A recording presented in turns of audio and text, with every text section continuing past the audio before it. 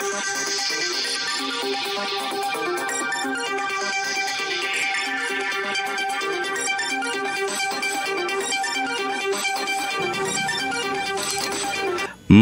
ঘটনা থেকে শিক্ষা নিয়ে সুন্দরবনের ভাসমানে দুর্ঘটনা এড়াতে তৎপর প্রশাসন, পুলিশ, সিভিল ডিফেন্স ও বিএসএফের ছয় লাভ সুন্দরবনের রায়মঙ্গল, কালেন্দি ও সাহেবখরে নদী। দশমীর দিন বিসর্জনের সময় মালবাজারে মাল নদীতে হরপাবানে আট জনের মৃত্যু হয়েছে। সেই ঘটনায় শোক প্রকাশ করেছেন স্বয়ং প্রধানমন্ত্রী নরেন্দ্র মোদী আর রাজ্য সরকার ক্ষতিগ্রস্ত পরিবারকে ক্ষতিপূরণের ব্যবস্থা করেছেন। কিন্তু নিজেদের স্বজনদের হারিয়ে বাকরুদ্ধ হয়েছেন পরিজনরা। সেই ঘটনা সে থেকে শিক্ষা নিয়ে দুর্ঘটনা এড়াতে এবার তৎপর প্রশাসন। আজ দ্বাদশী বসিরহাটের সুন্দরবনের হিঙ্গলগঞ্জের ব্লকের লেবুখালী তুলদুলি ও ভান্ডারখালী এই তিন ঘাট থেকে প্রচুর প্রতিমা নৌকায় তুলে প্রদর্শনীর মাধ্যমে নিরঞ্জন করা হবে। কারেন্দি, রায়মঙ্গল ও সাহেবখালী এই তিন নদীতে হিঙ্গলগঞ্জের পুজো উদ্যোক্তারা তাদের প্রতিমা নিরঞ্জন করবেন। তাই তার আগে নিরাপত্তা বেষ্টনের মুড়ি ফেলা হয়েছে এই তিন দিক নদীকে। বসিরহাট পুলিশ জেলার অতিরিক্ত পুলিশ সুপার সৌতম ব্যানার্জি জানান ইতিমধ্যে রাজ্যের সিভিল ডিফেন্সের তিরিশ জনের প্রতিনিধি দলকে এই তিন নদীর একাধিক ঘাটে নিযুক্ত করা হয়েছে। অন্যদিকে প্রতিটি প্রতিমা নৌকায় সিভিল ডিফেন্সের কর্মীরা নিযুক্ত থাকবেন। পাশাপাশি বসিরহাট পুলিশ জেলার একশো জন সিভিক ভলান্টিয়ারকে নদীতে এবং নদীপথে নিযুক্ত করা হয়েছে। অন্যদিকে থাকছে প্রায় তিরিশ জন পুলিশ আধিকারিক। এর সাথে নদী টহল দিচ্ছে মেরিন পুলিশের স্পিড বোট। পাশাপাশি বিএসএফের জওয়ানদের নদীতে টহলদারির নির্দেশিকা জারি করা হয়েছে। এক কথায় বলা যেতে পারে মালবাজারের ঘটনায় নড়েচড়ে বসেছে পুলিশ প্রশাসন। আর তার ফলে তৎপর ছবি ধরা পড়ল সুন্দরবনে। News now Basirhat.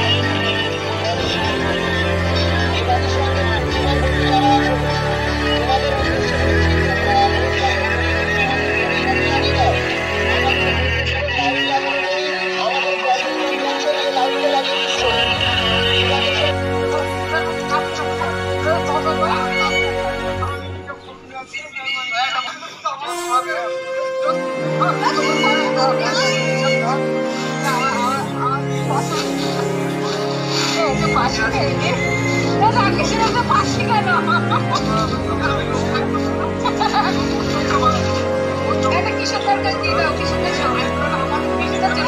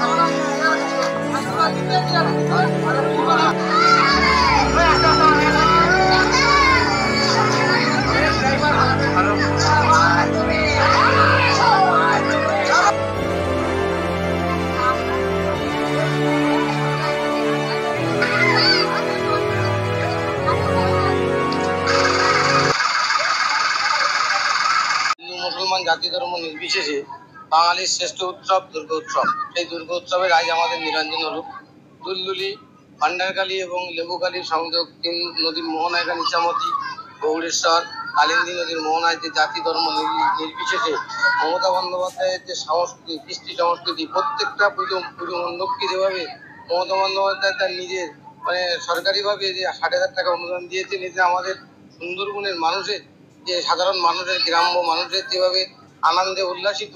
তাতে করে আমরা জাতি ধর্ম নির্বিশেষে একটা মিলন ক্ষেত্র আজকে লেবুখালী বা দুলদুলি বা ভান্ডারখালী সংগ্রহালয় করতে পেরেছি এবং সম্প্রীতি, সাধারণ মানুষের যে সম্প্রীতি লাখো লাখো মানুষ বললেও ভুল হবে না যে মানুষ বিগত দু বছর করোনার জন্য মানুষ একত্রিত হতে পারেনি, এবারে দুর্গা উৎসবটা একটা শ্রেষ্ঠ উৎসব।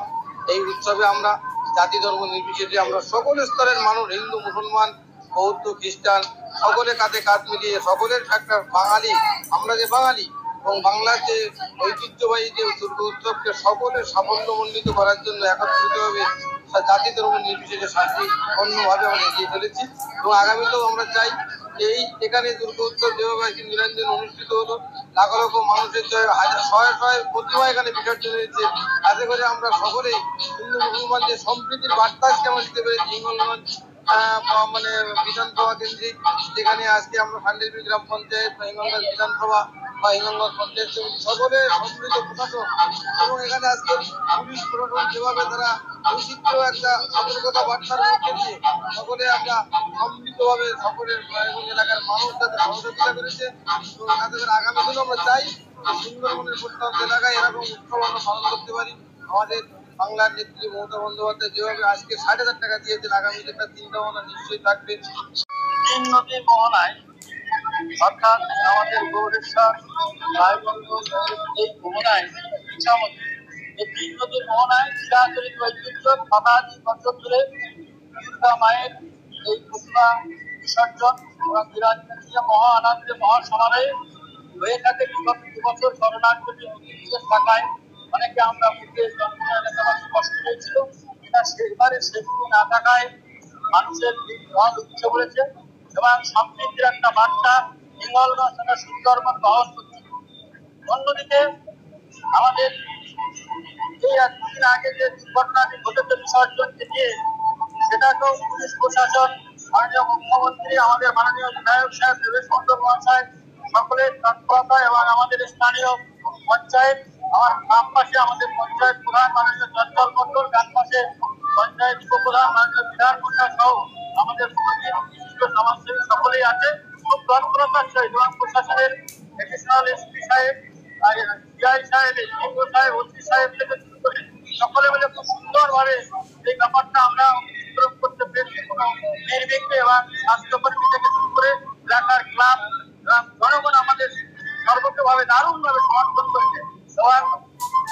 আমরা এলাকাবাসীর কাছে প্রশাসন তথা স্বাস্থ্যকর্মী থেকে শুরু করে সকলের কাছে এই দুর্গুলি গ্রাম পঞ্চায়েত বা